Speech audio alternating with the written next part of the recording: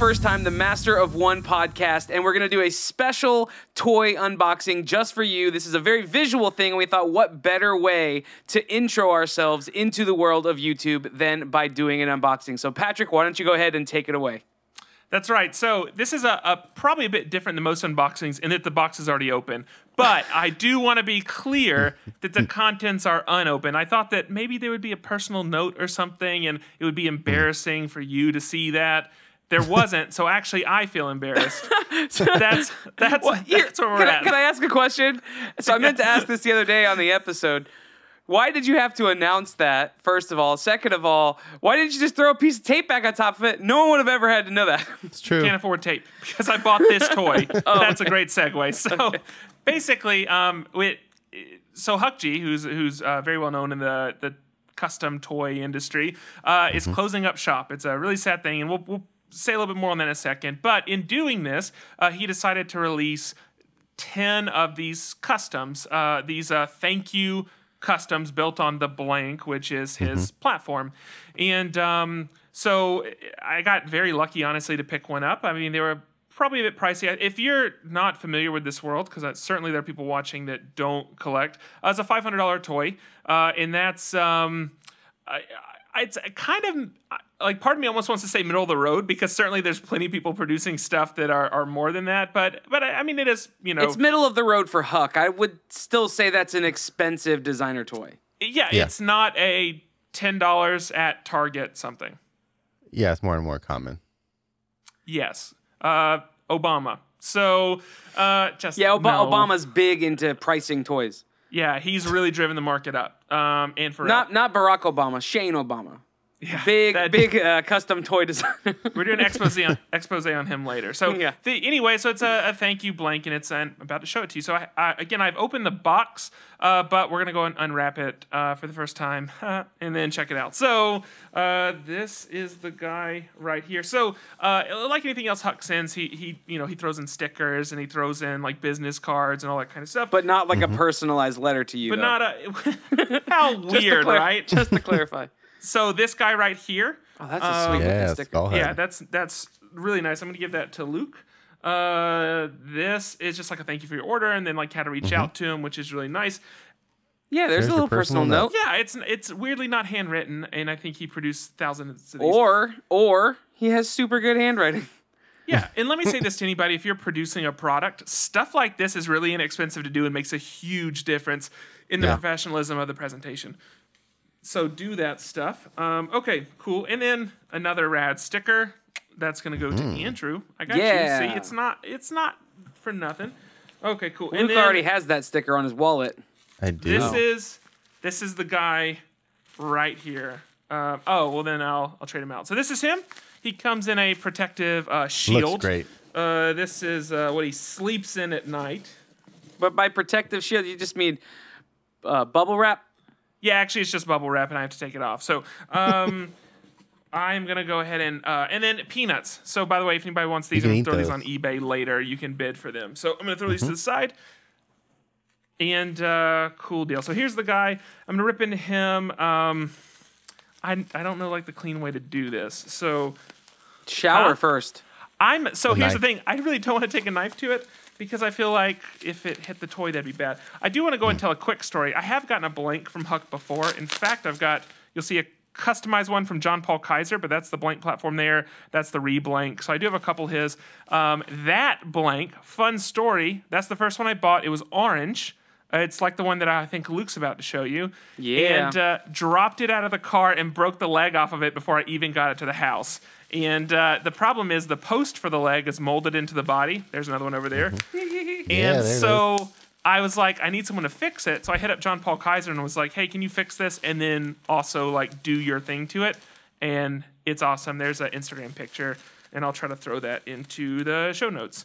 So have him open uh, now, here's how you know something's fancy. Oh, you know what I just realized? Now that, that, we do this, yeah, when we talk about the stuff that we're doing, that we get, we can just show it. Yeah. I just, I, I was kind of. I, I, genuinely don't know if you're being serious. I'm not. I'm not kidding. Like I was like, oh, from we now on, like I can the show that Ninja video. Turtle that Luke hates right there. Yeah. So uh, Mitch Hedberg would tell you that it's fancy because you open it and it still ain't open. So here's this guy right here. I'm gonna go and pull it out. Um, all right. Too soon, bro. Yes, I know. Sorry, guys. All right, and so here is the guy here. So, um, it's uh, so this is a custom done by him. It's the uh, it says "Mama's Boy" across the Nice. stomach, which hopefully Ah. I think we're gonna have. There's some little extra stuff right there. Okay, and then it says, uh, and I, honestly, it's a bit depressing, but it says "Game Over" across the knuckles on the oh, hands. Oh no. I, I mean know that's cool, but oh. it's like really sad. And then, and by the way, these are like really like the head is very heavy, so I feel like that it's just gonna like. But Yeah, just on don't, the just don't let Mackenzie hold it. that's the big thing. Thank you. Oh, thank you. Want to make sure we get that. Awesome. It's glow in the dark. There's something on the top. It, well, it's like this. Like there's not. oh yeah, I it's mean, his, it's his symbol. Oh, It's his symbol. hair. oh, the you mean in the front. above? You mean there? Yeah. Yes. Sorry, I think you meant like the hair like whipping on the top, and then um and then on the bottom it's uh it's signed. And then it's the uh, five of ten. So this is middle of the road. So if you see one go up on eBay that's five of ten, don't come after me. Someone has obviously stolen it from my house. So actually, just buy it and bring it back. That's what you should do. Um, and then yeah, then just and then he won't pay you for it. It'll just be a con- and then if you see it on there again, buy it again. bring it back. I obviously didn't mean it. Uh, yeah, and the whole thing is glow in the dark. So initially, if this had come in like a box or something like that, I probably would have left it in the box. Because it's in the bag, then I'll go ahead and uh, I'll display it. And it'll go back there in the case in its place. Uh, I do have to be a bit careful. I, my only fear with these is that I'll walk in and it'll be just like laying on its head or something like that. So, but it's great again with the thank you message and the Hey, game over. And can then I, it can I give you a, a tip? Oh, there's La- his little tail. Last thing, there's the tail that will Nice. go on the guy to like complete it. Can I give you a tip then, especially for some of these special ones, like the custom ones? Yeah. Just go spend ten dollars, like on Amazon, maybe not even that, and get an action figure stand. Yeah. And it clips to the back, like it doesn't clip clip, but like it'll kind of encompass it. It's like a little and C. yeah, and it will it- it'll keep it from toppling over. Um, Mm-hmm. And then you don't have to worry about a five hundred dollar toy, especially one that heavy, falling over in your shelf and smashing the Yeah. shelf Yeah. itself, and then all your other toys going. Well, not to mention, and don't get me wrong, very, very nice. Um, but it is hand done, and so you do get the sense that you could probably damage that pretty easily if you weren't being careful. Like if this rubs up against something, it's probably just going to pull the paint off of it. So, um, so I definitely want to be very careful. Uh, so no, that's that's a that is a great uh, tip from the master, and uh, that's one I didn't know. So actually, uh, I'll need. To, I'm about to head out now. Uh, and then I'll, that's something I'll need to go and pick up so I can display this properly. But the glow in the dark is awesome. I, when I opened the box the first night, I remember I was leaving the room and I turned off the light, and you could just see this like aura coming up from the box. Nice. Uh, Did you feel a bit like Indiana Jones? yeah, I, I felt uh, more like uh, the briefcase in um. Uh, Wait, wait. Huh? You felt like the actual briefcase? I felt a lot like a square piece of leather. you were carrying a lot Very of weird baggage. metaphor. Yeah, exactly. Oh, so, Ugh. um, Boo. You're right. Anyway. Briefcases don't carry a ton of baggage. I, I agree. Good point. Um, okay, so that, that's the piece right there, and, and again, it's it's a super cool piece. I'm, I'm very happy to have it. Uh, certainly, they're sold out by now. Uh, I haven't Yeah. seen, you know, I've been checking like if someone's gonna throw one up on eBay or something like that, just because you know I'm curious. Um, that being said, nobody has, and and my guess is people probably won't. I mean, this is, uh, you know, Huck himself described it as a piece representing the end of an era, and uh, so I, I I think the people that got him are really going to hold on to him. So um, it's a really cool thing that I'm excited to show off to people, not in a like, hey, check out what I spent five hundred dollars on, but in a like a with a deep appreciation for what Huck has done. So I think Sure. on that Yeah. note, I think that this is a really great opportunity, that, uh, especially I think from you, Luke, given. Uh, your background in in uh, customizing toys and painting toys Sure. and those type of things to to maybe get an idea of your thoughts on on this happening with Huck and him making this decision. Yeah, I think um it's first of all it's sad. He's so prolific. Uh he was such I mean, he's been doing it forever. He's been one of the guys who's been doing it the longest. Um and I think he probably is is just tired. It takes a lot of work to like manufacture and think of the designs and and and reinvent your your line all these times and um Sure. Yeah, I think he, I think he's just worn out. Wants a, a, a normal job, whatever that means, a quote unquote normal job, and and not have to kind of do everything himself. Um, Yeah. A lot of people say it's it's really hard. Uh, he would know better than anybody because he's been doing it for so long. Um, a lot of people say it makes room for other people in the industry. That's true, but at the same time, he knows this industry, and if he's getting out because it's slow and you're not making it, then you know maybe there's something to that. Uh, the other thing is. Um, we've seen other people do this. Like Joe Ledbetter has kind of gone into other art forms, the same character styles, the same designs, but uh, he's not really doing many custom toys anymore. And a lot of these guys that we know have branched out into other art forms instead of just toys. So maybe this is dying. Uh, I mean, we know Huck, he's going to be fine. He's going to be creative. He knows how to solve problems. He knows how to, uh, I mean, he, this dude just Totally. oozes creativity. Yeah. So I think he's going to, he's going to be fine no matter what he does. Um, but I think he just needs a break. Just kind of get back into normal life. And, uh, you know, it's sad. It, it's definitely sad. He was one of those guys that I saw toys and I was like, man, I want to do that. But Hope not. we'll see sure. more. Plus, he's We'll a see more. phenomenal dancer. So Yes. Yeah. So if we don't see him, you know, if he does stop toys completely, then uh, so you think me, you can dance is still casting, and that's an so you option. think me can dance? so you think me can so you think me can talk? It's the Scottish version. It's different than the American version. Slight different titling. Um, yeah, no, I, I, I think all that's dead on. You know, it, I, it, I think there's a bit of fear with the whole thing, just in the Sure. idea of like Huck stopped, and there's a lot of people trying to be him, and so it almost feels like. Oh gosh, should I just go and give up now? Like if you know, Nah. so I think it's a, a bit of. I mean, and he says in the in the email that he sends that the industry just doesn't have the support that it used to have as far as like Sure. the, the the market being there, and it's a tough thing to come to terms with. Um, and especially when you're in the position of you have a family that you have to support. I mean, you, you don't Yeah. you don't. eh, So honestly, the, the other side of that is I I think it shows uh, something that we know to be true, but that Huck has an incredible amount of uh, maturity and sense to be able to say, you know what, this is a really tough decision, um, but I have to do what's best for me.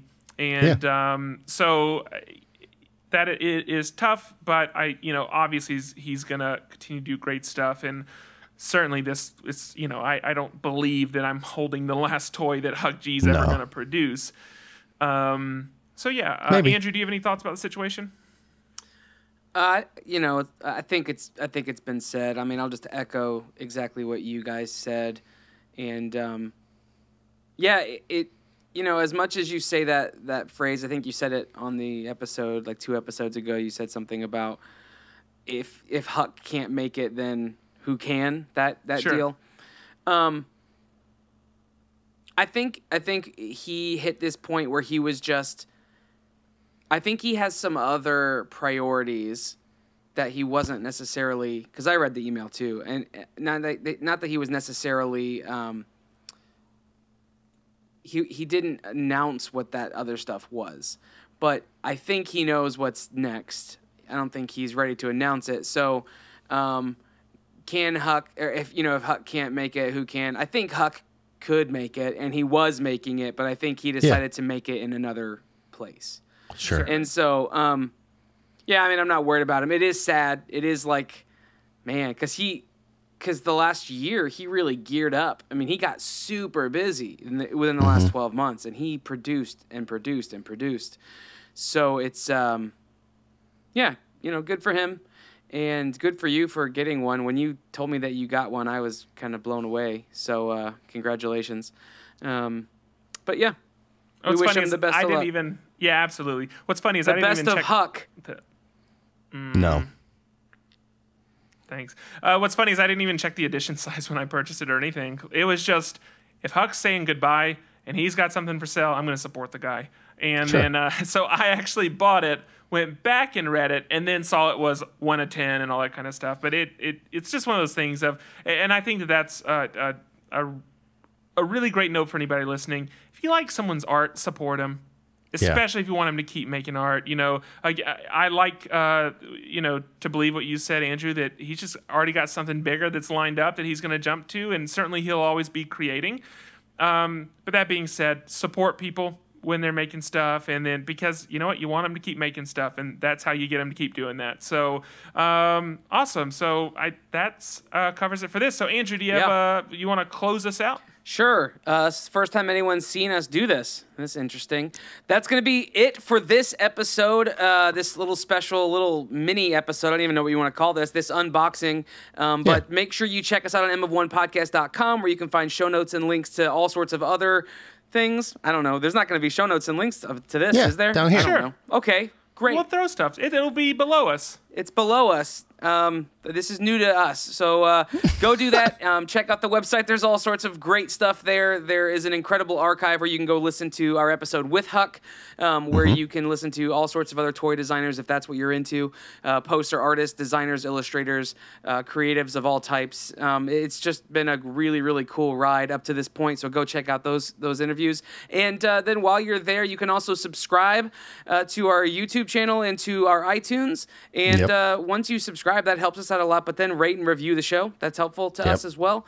Um, so go ahead and do that. And what else? Patreon. Go to patreon.com slash of one podcast to contribute financially to the show. Uh, for as little as five bucks, you get the blooper level, and there's always Mm-hmm. some fun, ridiculous stuff in there. I can only imagine what may or may not happen now that we have video added to this uh, deal. We'll never but, know. uh, the blooper I've seen level. a lot of nipples since we started this show, That's true.